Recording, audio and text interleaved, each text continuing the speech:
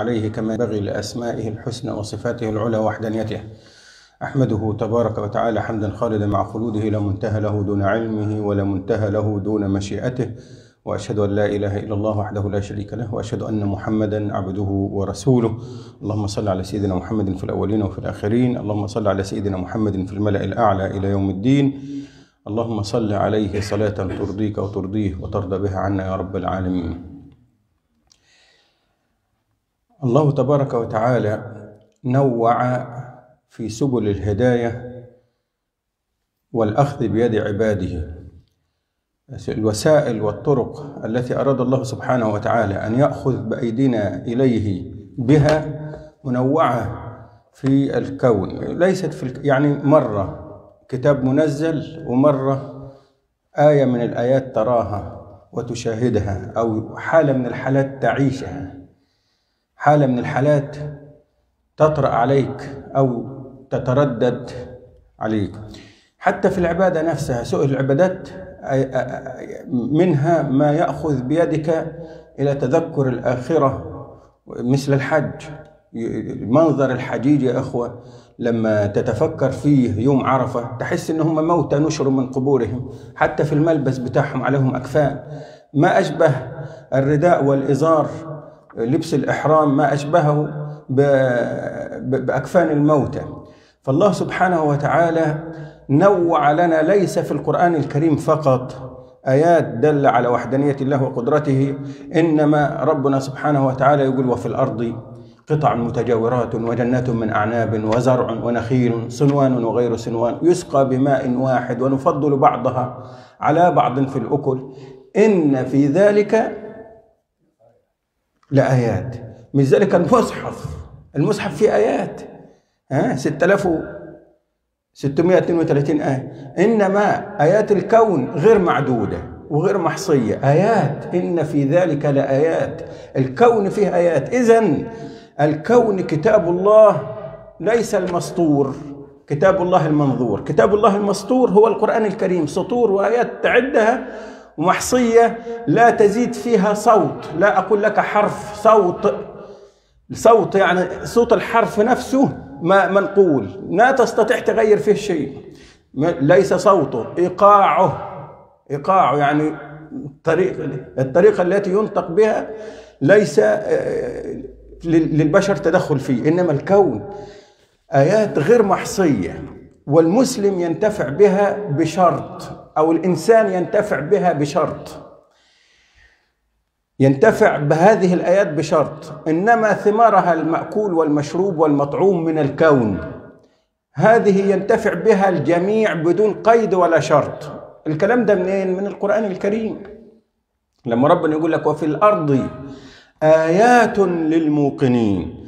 الأرض هذه قطرة لا تساوي لا تساوي قطرة في محيط الكون. يعني لو لو أنت تخيلت الهادي ولا الأطلسي وخدت منه قطرة وقلت الباقي كم ال ال الأرض نفسها كوكب الأرض أقل من هذه القطرة في الكون. أقل من هذه القطرة في الكون. ربنا سبحانه وتعالى قال في هذه القطرة آيات للموقنين. طيب ما الكون باقيه فيه آيات. الكون كل الكون فيه آيات تدلك على وحدانية الله وقدرته. فإذا الإنسان لم ينتفع بآيات نفسه وفي أنفسكم أيضا آيات أفلا تبصرون؟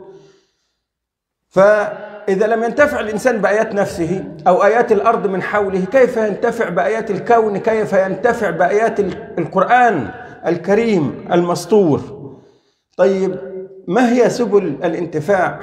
موضوع طويل. لو, لو, لو الإنسان عنده وقت كان كتب فيه كتاب وريح دماغه. آه كيف تنتفع بآيات الكون من حولك المرئية أو الحالية اللي هي تعتبر حال ليك؟ يعني إيه ليك؟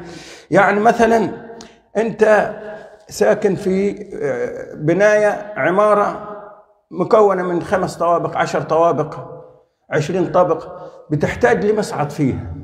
تعرف أنت تركب المصعد وغيرك يركب المصعد لكن يخطر على بالك كمسلم أو كعبد منيب لله تبارك وتعالى ما لا يخطر على بال غيرك عند ركوب المصعد. الله سبحانه وتعالى يجعلك تسترجع في ذهنك يستدعي آيات من القرآن الكريم. من يريد الله فمن يريد الله سورة الأنعام. فمن يريد الله أن يهديه يشرح صدره للإيمان. ومن يريد أن يضله يجعل صدره ضيقا حرجا كأنما يصعد في السماء. اللي يصعد في السماء صدره يضيق. يحصل نوع من اختلاف الضغط فصدره يضيق. فهو أنت بتركب المصعد تتذكر هذه الآية. تتذكر وأنت تركب المصعد ولو أن يكون الناس أمة واحدة لجعلنا لمن يكفر بالرحمن لبيوتهم سقفا من فضة ومعارج عليها يظهرون.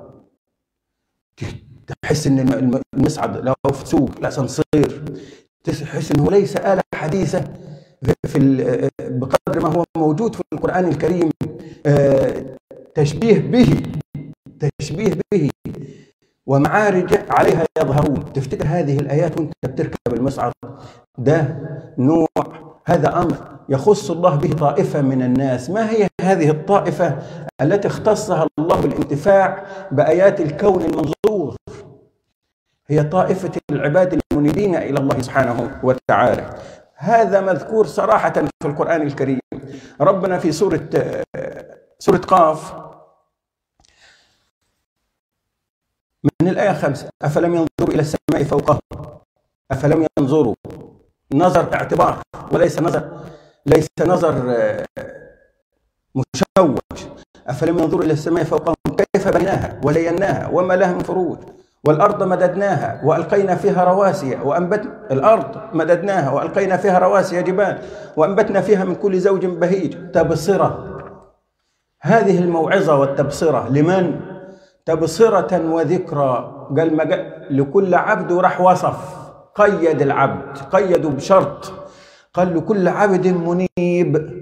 العبد المنيب هو الذي يرى هذه الآيات. العبد المنيب هو الذي ينتفع بتلك المرائي. الله سبحانه وتعالى أيها الإخوة جعل المرائي المرئية في كون الله المنظور عبرة وسبيل لليقين في نفس الأنبياء. هو في القرآن الكريم لما تقرأ سبحان قبل سبحان في في سورة سورة الأنعام ربنا بيتكلم عن سيدنا إبراهيم وكيف ربنا أطلع فلما رأى الشمس بازغة فلما رأى القمر بازغ في الآخر قال وكذلك نوري نوري. أنت ترى. وكذلك نري إبراهيم ملكوت السماوات والأرض وليكون من الموقنين. يا إخوة الرؤيا والسماح في القرآن الكريم مراحل ودرجات كبيرة في رؤية عن رؤية تختلف. المرأة والله لو في أوقات كان هذا الأمر يعني يستغرق من الكتابة والمواعظ ما تفهم به القرآن بشكل, أوسع. ليس كل السماح في القرآن سماع وليس كل رؤية في القرآن رؤية يعني نظرية أو بصرية. إنما المرائي في القرآن الكريم والسماع. وكذلك نري إبراهيم ملكوت السماوات والأرض وليكون من الموقنين. سيدنا محمد صلى الله عليه وسلم سبحان الذي أسرى بعبده ليلا من المسجد الحرام إلى المسجد الأقصى الذي باركنا حوله. كل ده ليه لنرياه من آياتنا. إنه هو السميع البصير. آيات الله منتشرة في الكون لكن لا نستفيد بها على وجهها. لماذا؟ لأن ما فيش جاهزية. الإنسان اللي عنده جاهزية واستعداد هو الإنسان المنيب. ال ال ال الإنابة هي الرجعة. إن في ذلك لذكر تبصرة وذكرى لكل عبد منيب. متى تكون منيبا؟ ترى هذه الآيات. ولذلك العبد الغير منيب مصيبته إنه هو يمسك المصحف يقرأه من الغلاف إلى الغلاف من الجلدة إلى الجلدة ولا يستفيد به شيء. وهو فاكر نفسه إنه بيحصل بيحصل حسنات انت نعم تحصل حسنات لكن ورد التدبر للقرآن الكريم أهم من ورد السرد القراءة اللي هو ليس له قيمة. مرة يا إخوة كنت راكب الحافلة هنا في ألمانيا وحاطط السماعات الرأس في أذني وأسمع قران القرآن الكريم. ركبت جت جلستي جنب واحد سكران. سكران مخمور يوم الأحد الراجل كان يوم السبت سكران 100% مظبوط. راح قال لي عايز أسمع الغناء اللي بتسمع قلت له خد أعطيته فرده من السماعات وصاحبنا قاعد يسمع معايا سمع ايتين اثنين فقط والقارئ قال صدق الله العظيم. قال لي الراجل اللي بيغني ده بيغني منين؟ رحمة الله عليه كان الوالد. قال لي الراجل اللي بيغني ده بيغني من قلبه مش بيغني من لسانه ولا من فمه. قلت له ده مش غنى. قال له أمال إيه؟ قلت له ده القرآن. قال له هو لقى قرآن. خدت بالك الراجل؟ فعارف عربي ده؟ ده ما عرفش عربي. بس إحنا مش محصلين السكران ده. والله يا إخوة أنا ما بقدح في ديننا ولا في إسلامنا أنا واحد منكم. ما أنا منكم بنجوى. إنما نتكلم عن واقع إحنا القرآن عندنا عامل زي الأحجبة مش الأحجبة التمائم يعني. عامل زي التمائم نحطه في السيارة ونحطه على المكتب عشان نستبارك بيه والشغل يبقى مظبوط. خدت بالك؟ وشغالين به ونقراها على العيال عشان ما يصرخوش بالليل ويقلبوا يقلبوا منامنا. لا ونقراه في المقابر على الاموات لا القرآن وإن كان يتبرك به وإن كان يتبرك به في هذه المجالات إلا أنه كتاب هداية فيه معاني أوسع من هذا المعنى. والكون كذلك الكون كذلك لكن من يستفيد بالكون؟ استفادة التبصرة تبصرة وذكرى استفادة الموعظة. كل عبد منيب لكل عبد منيب خلص الكلام. بس. خلص الكلام انتهى. ولذلك ربنا في القرآن في سورة العرف يقول إيه؟ وتراهم ينظرون إليك وهو بيصف يصف طائفة من الناس ممقوتة ورزيلة ومرزولة. وتراهم ينظرون إليك شايفين ولا مش شايفين؟ ينظرون إليك. ها؟ لكن في الآخر قالوا هم لا يبصرون. القرآن الكريم ذكر العمى بالألف المقصورة موسى وعيسى. زي ألف موسى وعيسى؟